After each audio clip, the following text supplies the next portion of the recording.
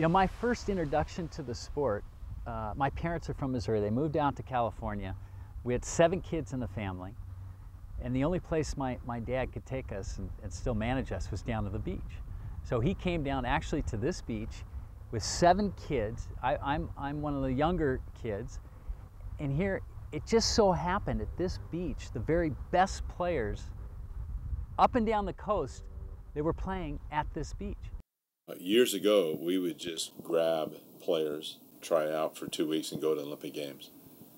Uh, and I think we did that in you know '64, and you know '68 we trained a little bit. Uh, '72 we didn't qualify, but I think we did the same thing. And there was no youth, no junior development, and even the the national team was not together. It's a very slow-moving game compared to the the game today.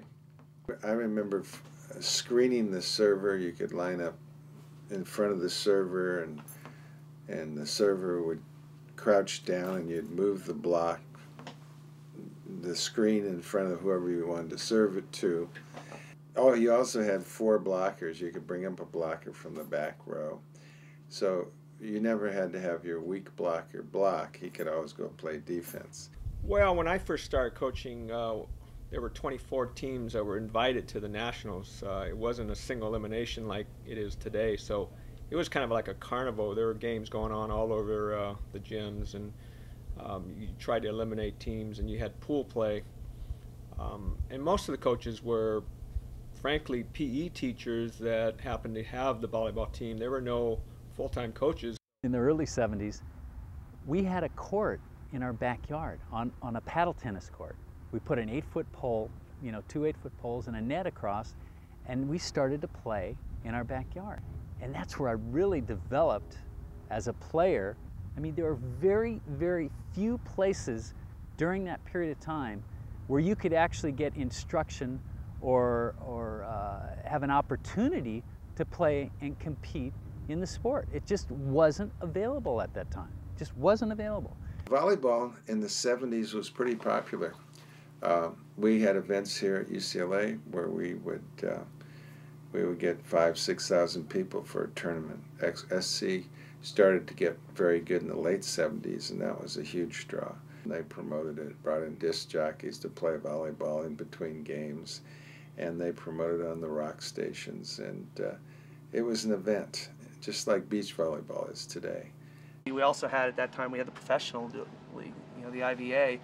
Um, and back then having crossover players like Wilt Chamberlain playing volleyball and it, it was a great time. What it was is that we didn't have the 24-hour news channels and 15 different ways to get them on TV when you only had the, you know, the Wide World of Sports.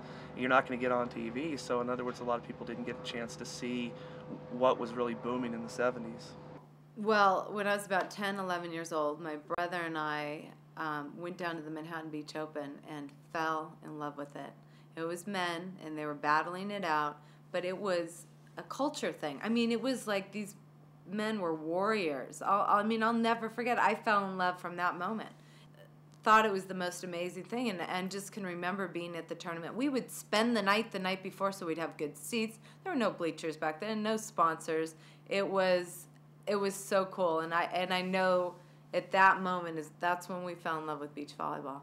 The birth of the Manhattan Beach tournament, uh, the the Manhattan Open, and. Uh, just the it's it, it developed into that cult lifestyle, a cult following. They uh, that they that volleyball players were to a, to a certain degree invincible. That they could uh, they could stay out all hours and, and still win the uh, a beach tournament. Uh, yeah, I don't know how much that's changed, but uh, there's definitely uh, volleyball, beach volleyball in particular, um, and you know, and it bled into the in indoor game. Definitely, it was very enjoy life and and free living and, and volleyball was the perfect means the sport to provide that, that outlet. Everybody's so gregarious about uh, no matter if you were their opponents or, or you know teammates.